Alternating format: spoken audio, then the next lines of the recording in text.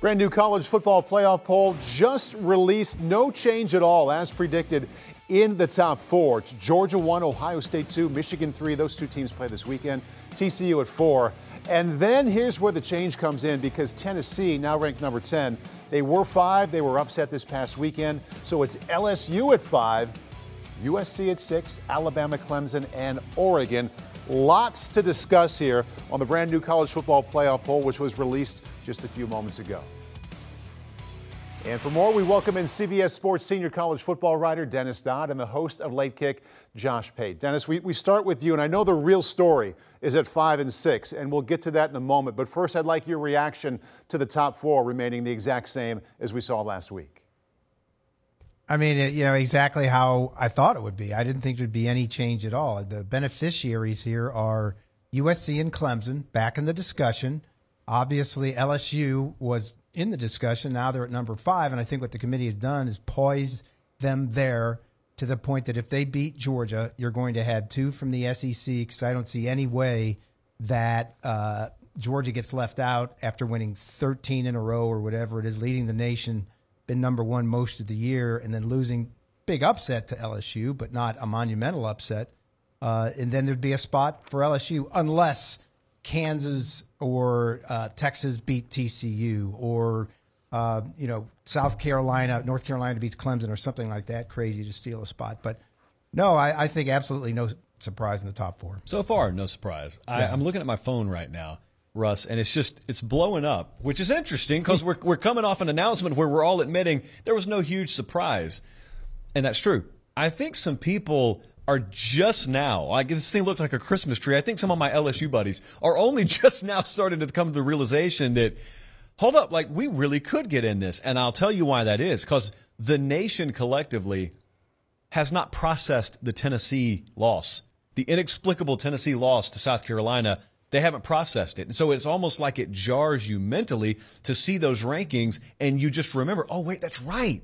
Tennessee's out of this. So now we, LSU, we don't have to worry about that team that drubbed us at home in a potential head to head resume test at the end of the year.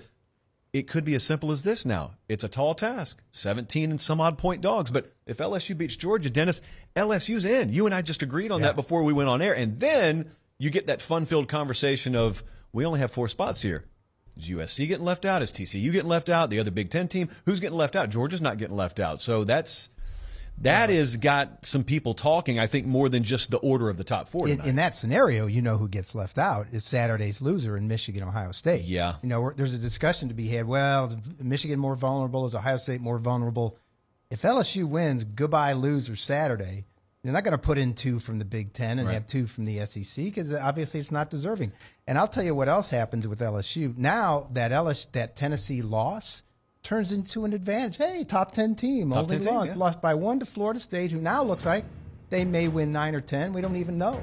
Um, so it's, it's clear that what you and I saw coming, everybody else is realizing. Here's the other thing that is dawning, I think, on folks out west. I was I was looking at the ranking release and thinking USC is a big winner here. And they are. Make no mistake. Lincoln Riley's got the Trojans poised to, if they win the Pac 12, I would think it's more likely than not, certainly that they're going to the playoff because they would have finished the season. I mean, we're sitting here looking at it with top 20 wins over multiple teams. Uh, you potentially, well, you got Notre Dame this Saturday, and if you win that one, and you win the Pac-12 championship game, that is a really, really good resume. Not to mention you just knocked off UCLA, so they're playing their best ball. But here's where the disaster scenario for them is: if LSU goes and beats Georgia and the chalk holds mm-hmm. elsewhere, you've got Georgia still going to be in. LSU's going to be in at that point. Big Ten. One of the Big Tens are in. And then if TCU goes undefeated, they're not getting left out. So you're looking at a scenario there where the worst thing that could ever happen for USC is LSU pulling that upset. Because if the favorites win elsewhere, oh boy. And they would have no they would have no argument. No. No Power Five undefeateds ever been left out. So TCU's except in. except for once. In 2004, Auburn was left out of the BCS at 13 and 0, 12 and 0, whatever it was back then that Mike Slive was so incensed, he started the movement for a playoff. Yep. And that was 18 years ago. Tommy Tuberville was in the press box at the Orange Bowl shaking hands with AP voters trying to get in because that was part of the BCS back then. So, no, TC, TCU's not going to be left out. and USC wouldn't have an argument. They That's wouldn't. the way it goes. They would not, because it's not like the loser of that Big Ten game is being put in. At that point, you got that conference championship flag to wave. They do not have an argument. At least I don't think. Here's no. here's where the potential argument could be, and I think it would be a losing argument. They could say, why does Georgia just automatically get in over us? Their schedule outside of fill in yeah. the blank has not been anything to write home about. Doesn't matter because the brand equity is built up with Georgia. They've had that number one next to their name. It shouldn't matter, but it does matter that they hoisted that trophy last year. They're not you're not jumping them. I mean, I don't know what else to say. You're not jumping them. So, Russ, I know that's felt like about 20 minutes, but man, there was more to talk about than I thought there was going to be. Russ is next door. Actually, I could go get him. This is this is Paul. oh my bad. my bad, Paul. It's been a long time. Letters. It's okay.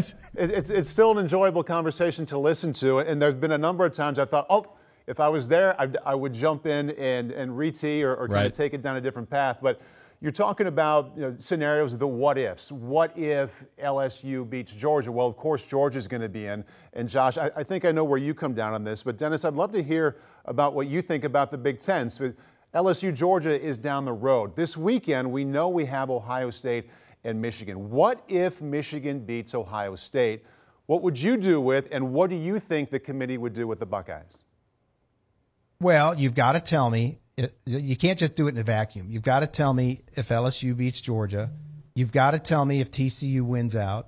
You've got to tell me if USC has a, a finishing kick of UCLA, Notre Dame, and Oregon, three basically top 15 teams. Right. Then I can tell you. Without that, it, it, with a non-vacuum, I can say I think Michigan's more vulnerable because of the three lousy teams they played, or semi-lousy, Connecticut, uh, at the beginning of the season.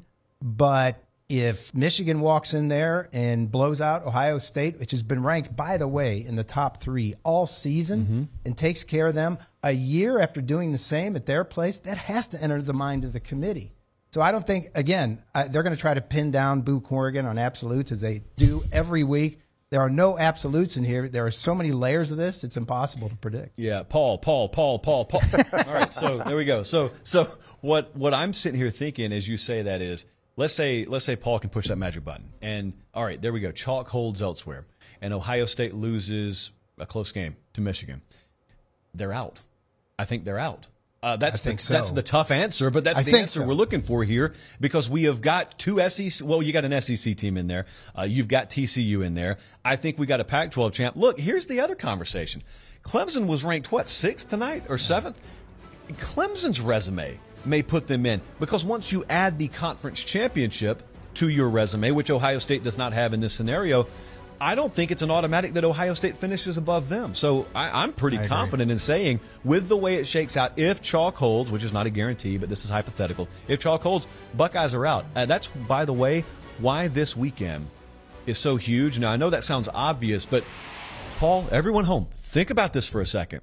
This game last year, Michigan wins. We were both there. Yep. And it's snowing, and okay, that's a that's a shocking upset, but they were going to get us eventually if we're Ohio State everything since that moment has been geared towards this Saturday at the horseshoe. They've got to come to our place now. We get to play them on turf. It, it looks like, well, we may have rain in the forecast, but Ohio State is built to this moment. If they lose Saturday, you're looking at a CJ Stroud led team that the history books will remember for one reason, and that is they didn't even play for the Big Ten championship, much less go to the playoff or win a national title with him.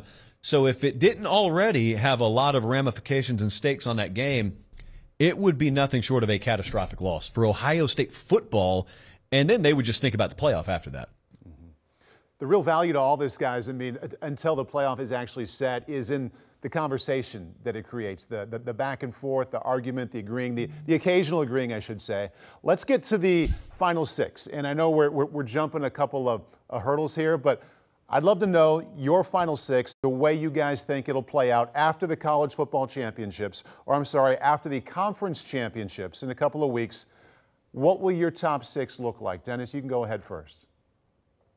Well, mine's predicated on Michigan winning. Mm-hmm. So you got to start with that. We can have an argument about how or why or if, but I think Michigan is set up physically to win this game on the road. They Ohio State was their daddy's or Michigan was Ohio State's daddies last year. I think in weather, which Ohio State has not performed well in this year, Uh, I think they're ready to go. We don't know about uh, Blake Corum. We don't know about Donovan Edwards.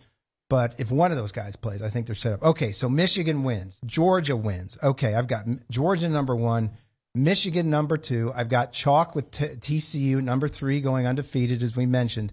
So the decision then becomes Ohio State as a runner up or USC or Clemson. I've got USC at number four winning its league. We discussed that with a finishing kick, which will mean everything to the committee. Two, three top 15s UCLA, Notre Dame, and Oregon. Very impressive. Ohio State, five. And then Clemson, probably with the weakest resume of those three conferences we're talking about, in at number six. I've got conference champs one through five. As it turns out, I just gave you all that nonsense, and now I got conference champs one through five. So I've got Georgia number one, and that's obvious. I've got Ohio State number two. I have got USC number three because if all else comes through and USC ends up winning, just talked about it. That's as impressive a three week stretch as any of these teams will have put up. So I still think TCU's in. I think USC may jump TCU. So uh, listen, that's an unenviable position because that is the difference between playing Georgia probably in Atlanta in in, yeah. in, round one versus maybe playing Ohio State. And then I've got TCU four. So I got Clemson five, and then whoever loses that Big Ten game, I got them six. So I think conference championships are still going to, at least according to my little graphic there, mean a whole lot at the end of the day.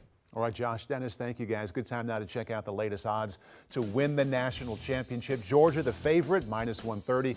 They're followed by Ohio State at plus 210. Then we have a pretty big drop off. Michigan next, plus 800. They're followed by TCU at plus 1600.